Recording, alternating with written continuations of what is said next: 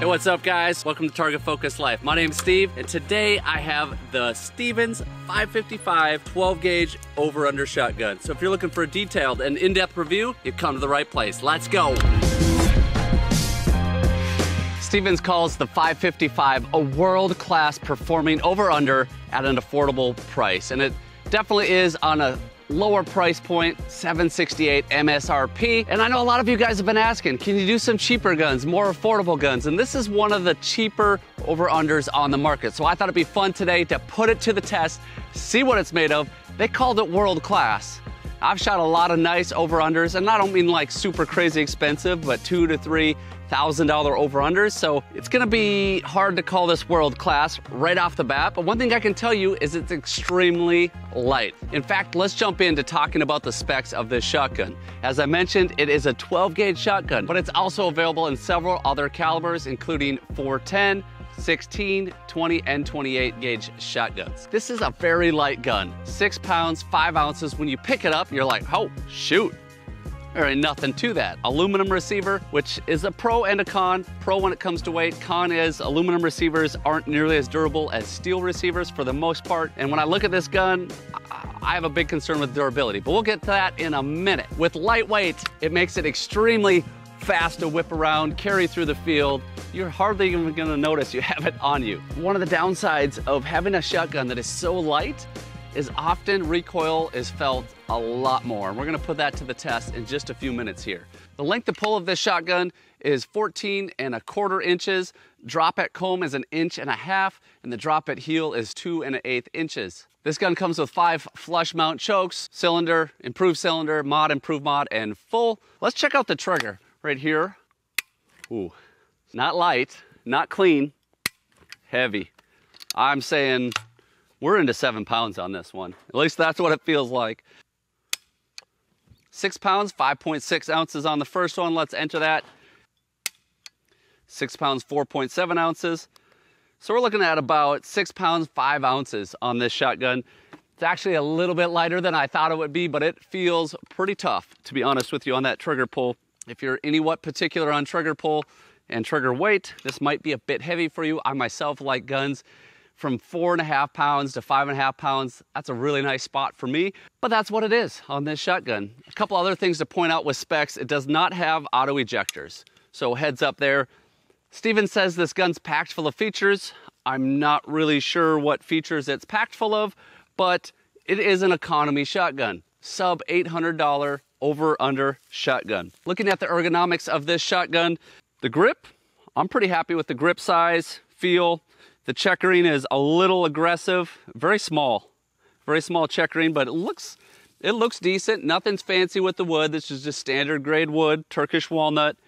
It does have a Schnabel forend, which I like. I like those Schnabel forends. Balance wise, often a balance point can be close to those hinges. You can see we're not anywhere close to that. Balance point is forward. I mean, the whole gun feels light, but it feels a little forward heavy to me. Safety selector works pretty smooth. It's a little stiff. Under barrel on the left, side, as most over unders. Over barrel on the right side. not super smooth. I mean, a little bit stiff, but it everything's tight, which is what you would hope for out of a brand new shotgun. Uh, other things to think about with ergonomics on this one recoil pad is just kind of a hard rubber pad, not a whole lot going on there. It does have a single brass bead, which is totally adequate. Vented rib, vented barrels, aluminum receiver, which I already mentioned.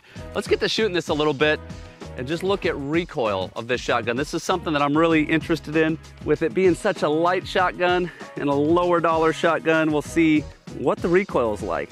That's a big question mark. It actually mounts up really nice. I'm kind of surprised by that. Fits pretty well.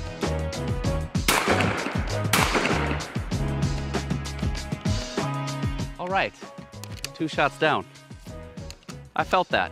I'm not gonna lie, I felt that quite a bit in my face. In fact, I kind of feel it in the back of my neck a little bit. My teeth maybe loosened up a little bit. Better hold that sucker tight because she's coming back. As far as reliability, I can't say much about reliability. It has no auto ejectors to look at, but I'd love to hear if you have a Stevens 555, what's your experience been? Shooting this gun in the field, has there been issues?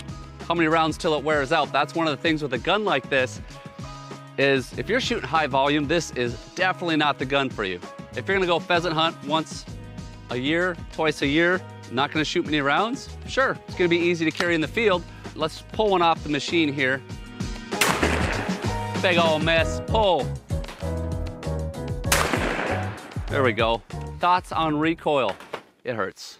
I'm gonna be blunt and honest with you guys as I always try to do. And I'm always looking at guns relative to price point too. So I try to give even the lesser dollar guns a fair shake. My shoulder hurts, my face hurts. I shot it just a little bit off camera to get a feel for it. Back of my neck hurts. Jordan got a little time behind the gun. He said he thinks his teeth got loosened up a little bit too. So we both had similar experiences. Just gonna be honest, a lot, a lot of recoil. These are ounce and an eighth target loads. Could you imagine what this would feel like shooting hunting loads? That baby's gonna boot you. This might be a light gun, but it does pack a heavy punch. I'm not trying to trash the gun. I'm just observing what I feel, and I don't feel good at all. But let's break this gun apart really, really quick. That lever feels kind of chintzy. There we go. And let's take the barrels off. This plate on the backside of the receiver has a Phillips screw into it. That's quite a bit different than most your over under shotguns. I, I just feel like with the materials on this, it's not gonna last a terribly long time. I could be wrong. If you have a Stevens 555 and you've shot 10,000 rounds, let me know. Just nothing real smooth about it, nothing real sexy about this shotgun. It's kind of a plain finish, but it is a value shotgun. Enough talking, let's get back to shooting and then let's get some ibuprofen. But let's see, hey, maybe I can shoot this gun super fast. Maybe by the end of this, I'll change my mind and think, I'm keeping that bad boy. Let's get on the clock. See how fast I can shoot this Stevens 555. Whoa, right off the bat, first shot. You know, celebrating is not nearly the same when you don't have auto ejectors. I wanna see these shells just, yeah. All right, what was it? What was it? 119, not terrible. Took me 0.96 and I had a 0.23 split. I'm gonna try it one more time, guys. Oh yeah, that was fast. That was fast, and no matter what, I'm done because my face hurts. 105, look at that. I'm shooting this faster than a lot of other shotguns. So I think I found the silver lining in this whole review. It's super light, I can mount it super fast, I can shoot it pretty fast. In fact, I got on 0.85 and a 2.0 split. So I'm cooking with this gun. There it is, that's your best feature of this gun. Quick to mount, fast shooting. My thoughts after shooting this, if you're considering a Stevens 555, for a few hundred more dollars, 300 more dollars or so, you can start getting into a category of a much nicer shooting shotgun. It might be a little heavier. I'm not here to tell you what to get. I'm here to show you the guns, give you my feedback, and let you make decisions. So if you have a 555, I'd love to hear your experience down below. If you'd like to see me shoot any other value, cheaper, budget, whatever you want to call them, economy over under shotguns, put that also down in the comments. But hey, thanks so much for watching. I appreciate each and every one of you. And whether in the field or in life, you're only going to hit those shots that you're laser focused on. So live target focused. See ya.